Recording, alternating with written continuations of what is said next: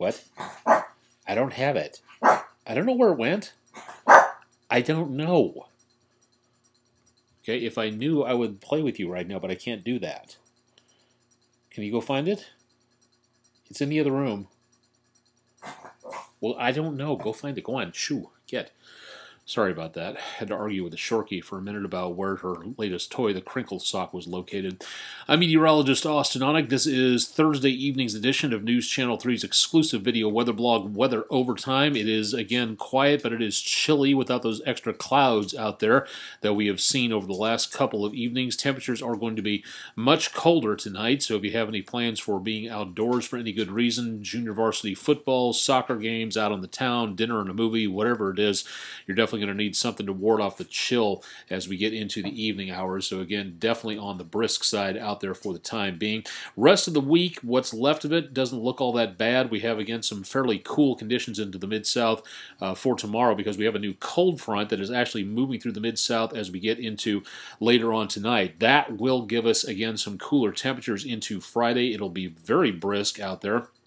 And we'll also see again some pretty chilly temperatures as we go into and around uh, Friday night football as well. So if you have any plans again for that, you're not going to need the umbrella, but you may see again the possibility of the maybe seeing uh, the potential for some more problems of showers and thunderstorms into the rest of the forecast as we head through excuse me, out the rest of the next weekend. We'll talk more about that coming up here in just a little bit. Otherwise, looks pretty good for later on tonight. And looking again into the rest of the forecast, again, no major problems being seen uh, for the time being. Welcoming in all of our viewers on Facebook at this time, so live on Periscope, Instagram, and Facebook. So thanks a lot to everybody for joining us tonight. Again, currently, so far so good on the forecast, which you can find again here in the blue bar on the bottom portion of your screen. Looking again at the possibility of even more chances of rain across the area by the weekend, but not really seeing too much in the way of major amounts. Can I have it or not? You you gonna get? No. Yeah, didn't think so. Okay. Arguing with a five pound ball of fluff with a couple of legs. Anyway, for right now, we see again the potential for some quiet conditions out there. Matter of fact, let's just go ahead and get started with what we're looking for in the way of radar tonight which does not amount to much. Again, we're seeing little, if anything, out there in the way of rainfall. Uh, the front that's moving through the area will continue again to be uh, rather on the mild side where it comes to rain, and it's actually going to be passing through the area throughout the course of the next few hours, but we're just not seeing anything in the way of rainfall this time. Very clear skies out across much of the Mid-South. Thought we'd start off with something a little bit more unique and interesting for tonight, something we don't often see on here, thanks to the United States Geological Survey, a look from the Halema Uma'u Overlook Vent from around the area of Kilauea. You're looking directly down into the crater. That's not flashes of lightning, that's lava you're looking at. And they have cameras like this set up in various parts of the volcanic vents that you can take a look at into and around the area of Hawaii. And again, this comes from the uh, United States Geological Survey. And if you'd like to see these pictures, these uh, cameras out there, they are available from the Hawaiian uh, Volcanic Observatory. Again, great opportunity to see more about uh, what's going on out there. If my camera page would behave right there, you can find out more. You can get there by going to hvo.wr.edu usgs.gov, and you can find out more about what things look like out in and around that particular area. Kind of neat just to be able to feature a camera looking into a live volcano. It's something we don't have a chance to really offer that much, but it is kind of neat when we're able to take a look at it. Speaking of things Earth-related and or seismic, we don't see anything going on in the way of anything involving earthquakes across the Mid-South at this point, so very quiet conditions out there. Uh, the New Madrid fault line right in the middle of your screen for the most part. If I could get this to, for some reason, my browser is getting a little bit cranky for tonight, but in the meantime, that's what you're looking at out there is, again, the New Madrid fault, and that's where we're seeing, again, the potential for uh, anything involving earthquakes in the Mid-South.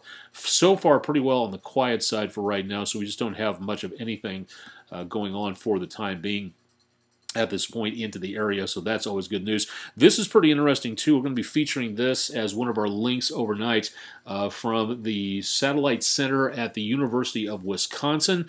This, what you're looking at, is again a view over about a three day period of the border between India and Pakistan, where the atmosphere has been doing a very good job of creating what's called an inversion. It's a layer of air several thousand feet up, which doesn't allow for any mixing of the atmosphere. So, what you're looking at in this display is actually a layer of haze and smog. And you can see how bad it is from New Delhi all the way down in the lower right hand corner of your screen, all the way across the border into around Lahore in Pakistan. Uh, just absolutely thick conditions out there. A lot of people have been sick, and sadly, there have been uh, some fatalities as well with this situation out across uh, much of the area of into around Pakistan and into around uh, areas around close to India, northwestern India is where you're looking at at this time with New Delhi down here in the lower right hand corner of your screen. So hopefully that gets a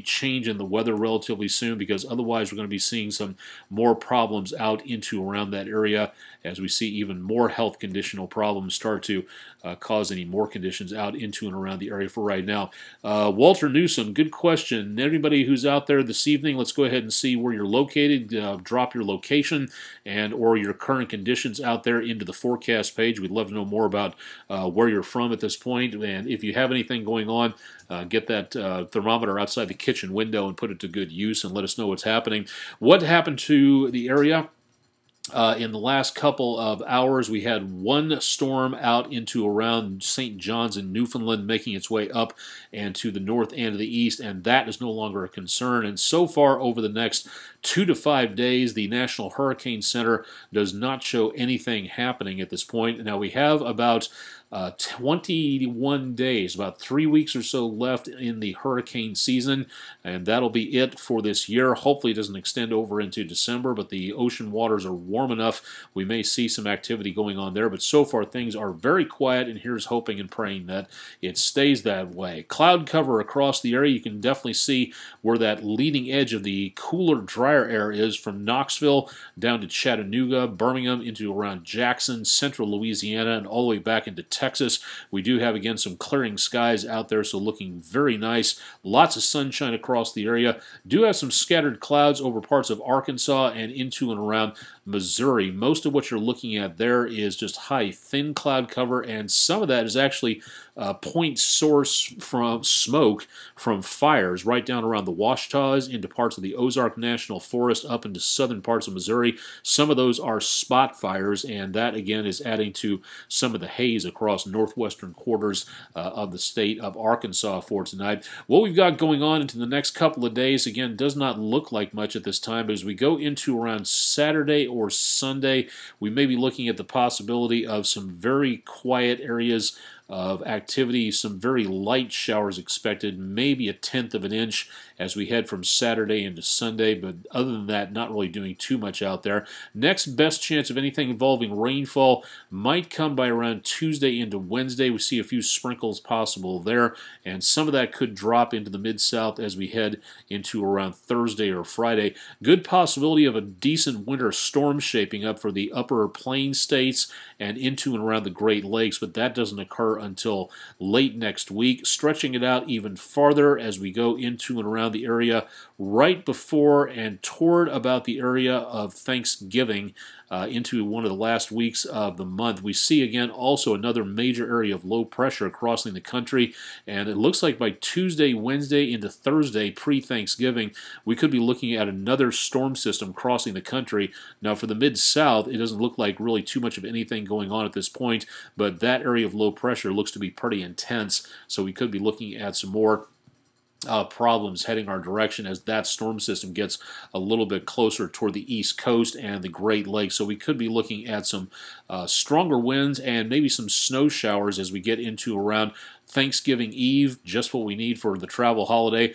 And for Thanksgiving itself, bracketed by storm systems, one off the east coast and another one looks like it's moving into view off the west coast. So that could be something that we uh, could be looking at some sort of concern on that one.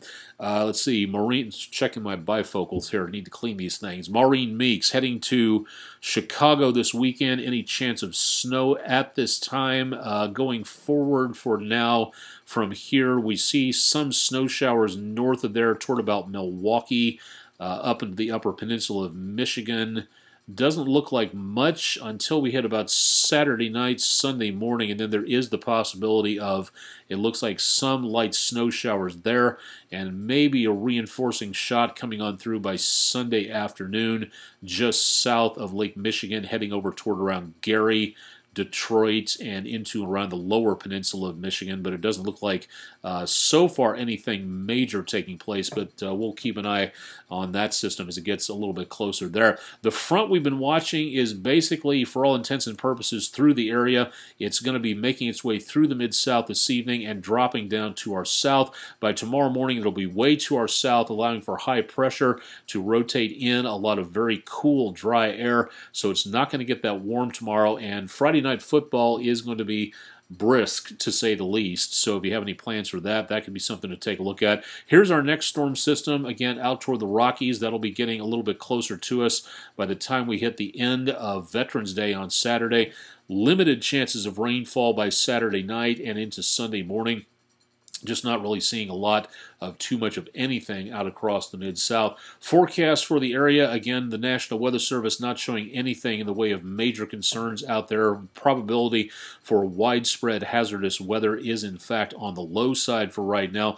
We'll do a quick check of the forecast to see what goes on uh, into the rest of the data for the next couple of days. For a second, give me a, just a moment to get things uh, loaded up here that should have been taken care of earlier. I don't know why it was. Sorry about that.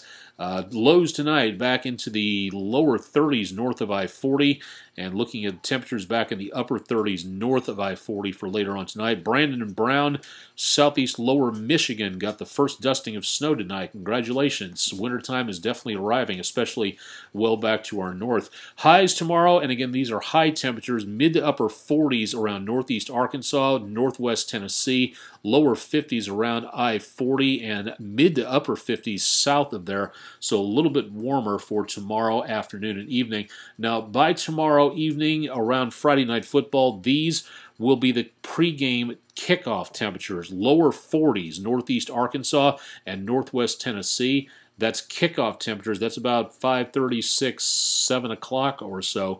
Combine that with winds out of the northeast at about 5 to 10 miles per hour. We could see some wind chills tomorrow at about 7 o'clock, easily into the 30s. So if you're heading out of the town, got a party to go to, banquet, church social, family gathering, Friday night football, whatever you've got, if it's outdoors, be prepared for this because it is going to be a bit on the chilly side out there. Let's go ahead and jump into Saturday. We've got temperatures back into around the upper 50s to lower 60s as those winds turn back around. Low temperatures Saturday night, lower 40s. That's good news because it's above freezing, but there will be chances of rain starting to make their way in. Northeast Arkansas will stand about a 15% chance Saturday night. And then going into Sunday, chances of rain start to overspread the area, but we're not talking about great chances. 20 to 30% coverage chance, and that's not great, but it is, again, still possible. And high temperatures again on Sunday will be a little bit cooler, back into the mid to upper 50s or so and that's going to be about it for the temperatures there. Heading into next week, let's go ahead and skip ahead to Monday. High temperatures improve a little bit, but again, not by much. We should be back in the mid to upper 50s to around about the lower 60s. And a quick peek at Tuesday, temperatures for highs back into the lower to mid 60s or so. Check out more of the forecast available at wreg.com slash weather and also on my Facebook page, facebook.com slash austenonekwreg, twitter.com slash aonek underscore WREG 3 and tune in for more on my Periscope page where you can watch me, watching me, watching me, watching me, and tune in for more on that. Available again on periscope.com. Uh, more about that, you can just search out me on that and tons of other weather information as well. Stay tuned for more again from the seven day forecast. This is available from News Channel 3 at this website at wreg.com slash weather. Well, it should be appearing there. I'm not too sure. Okay, there we go. Uh, Veterans Day again coming up on Saturday, and don't want to forget this. Been doing this all week long and should be doing it all year. Thank you to all the veterans out there for again wearing the uniform, and thanks to everybody for supporting them on the home front as well. Uh, again, something to think about. If you see a veteran out there, if you see anybody out there wearing the uniform of our country, please make certain to extend a hand and thank them for their service. A great way to say thank you is just to say thank you. Just a great way to acknowledge that if at all possible. Again, check out the forecast there. If you'd like to know more about what's going on on tomorrow's weather forecast, all you have to do is tune in to Bob and Josh bright and early tomorrow morning at 8 a.m. through 10 a.m. Uh, mainly sports chat, but also news weather with yours truly, local events, all kinds of neat stuff going on. And AM 730 is the place to get that there. If you can't listen online, all you have to do is listen, or listen on air, all you have to do is listen online. And you can find out more by going to talkbacklivenetwork.org. Hey, can, can you give that to me real quick? I'm not going to play tug of war with you. I'm, I'm, I'm talking to people. Can you give... You're not going to give it to me? Arguing with a Shorky. It's all kinds of fun. I would bring her up here, but she's trying to play keep away with this crinkle sock thing. We've got one of my old athletic socks. Put an old water bottle in it, tie it in a knot, and it's better than any dog toy you could ever purchase anyplace else. And that's what the crinkle, crinkle, crinkle noise that you hear is going on there. Another, don't look at me that way. Another check of your forecast coming up tonight with Jim Jaggers. That'll be in just about 90 minutes on News Channel 3 at 10, and also a lot more coming up with Todd Demers. That'll be bright and early tomorrow morning on News Channel 3 Daybreak. Live and direct from House Onek, I'm meteorologist Austen Onek. Thanks for joining me for tonight's edition of WREG TV News Channel 3 exclusive video weather blog, Weather Overtime.